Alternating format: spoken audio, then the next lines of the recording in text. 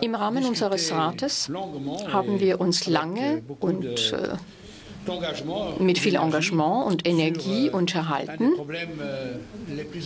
über eines äh, der bedeutendsten Probleme, eine der größten Herausforderungen, vor denen Europa heute steht. Eine der größten Herausforderungen seit dem Zweiten Weltkrieg, wie man nun sagt. Es geht um äh, Menschen, es geht um Männer, Frauen, Kinder und äh, das Ziel unseres Rates. War es deswegen und bleibt es weiter, angemessene Lösungen für das anstehende Problem zu finden. Wir haben im Rahmen dieses JI-Rates äh, von Seiten des Vorsitzes versucht, operationelle Schlussfolgerungen zur Annahme zu bringen. Wir wollten Schlussfolgerungen einerseits zur Aufnahme der Personen, wollten außerdem Maßnahmen in Bezug auf die Eindämmung der Ströme vorschlagen die Schlussfolgerungen des Vorsitzes werden dann auch sehr bald öffentlich gemacht und äh, Sie werden sie dann zur Kenntnis nehmen können. Dieser Rat hat zunächst beschlossen, die Hilfe der Europäischen Union aufzustocken für die UNHCR also für das Hochkommissariat der Vereinten Nationen für Flüchtlinge wird die Hilfe aufgestockt, damit diese Einrichtung in die Lage versetzt wird, äh, effizient und, äh, mit, und, und human die Flüchtlingslager zu verwalten.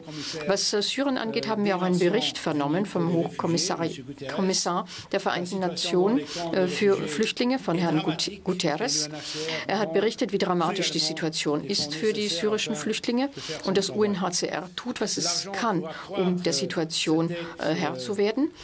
Und die Aufstockung der Hilfe wird nun kommen aus dem Haushalt der EU plus aus den nationalen Haushalten der Mitgliedstaaten. Außerdem ist äh, eine norwegische Initiative präsentiert worden im Rahmen unseres Rates. Sie besteht darin, eine internationale Geberkonferenz zu organisieren für die syrischen Flüchtlinge und um UNHCR zu unterstützen.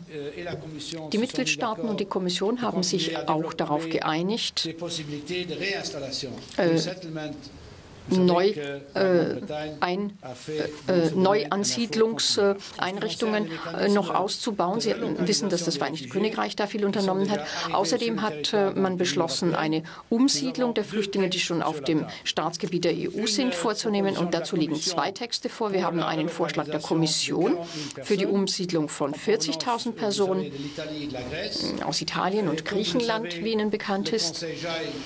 Der JI-Rat vom 20. Juli hat sich auf einen Text äh, geeinigt, auf einen Beschluss geeinigt. Das Europäische Parlament hat im Plenum dann eine Stellungnahme dazu angenommen, letzte Woche. Und mit dieser Stellungnahme des Parlaments hat heute der JI-Rat formell die Entscheidung zur Annahme gebracht, die morgen dann in Kraft treten wird.